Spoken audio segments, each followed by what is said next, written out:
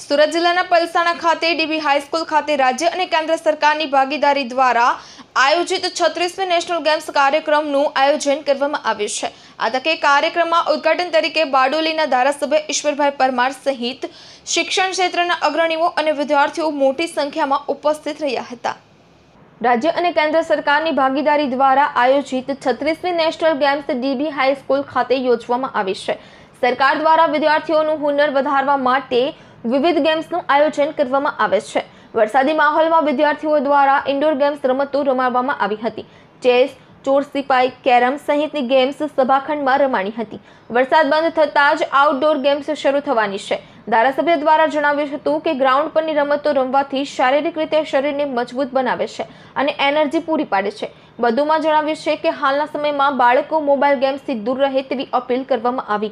આ પ્રસંગે શાળા પરિવારના ત્રણેય વિભાગના આચાર્યો, ધારાસભ્યો, તાલુકા અને જિલ્લા પંચાયતના હોદ્દેદારો અને વિવિધ રાજકીય અને સામાજિક ક્ષેત્રના આગેવાનો અને કાર્યકર્તાઓ ઉપસ્થિત રહ્યા હતા.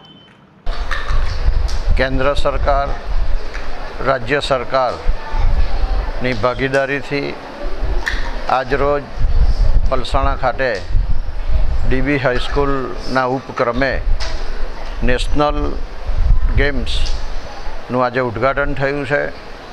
આ છત્રીસમી નેશનલ ગેમ્સમાં આ શાળા પરિવારના વિદ્યાર્થીઓએ જુદી જુદી રમતોમાં ભાગ લીધો છે.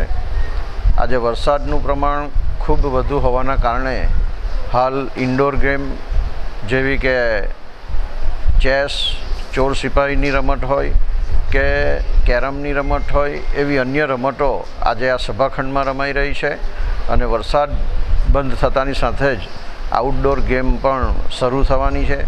આજના પ્રસંગે અહીં શાળા પરિવારના મેનેજમેન્ટના હોદ્દેદારશ્રીઓ, અમારા તાલુકા પંચાયતના પ્રમુખશ્રી, ઉપપ્રમુખશ્રી, શાળાના ત્રણેય વિભાગના આચાર્યશ્રીઓ અમારા મહામંત્રીશ્રી અને ચૂંટાયેલા સૌ પદાધિકારી પણ ઉપસ્થિત રહ્યા છે અને શાળા પરિવારના સૌ વિદ્યાર્થી ભાઈ બહેનોને આ ગેમ્સમાં ભાગ લો અને એમાં તમે સફળતા મેળવો.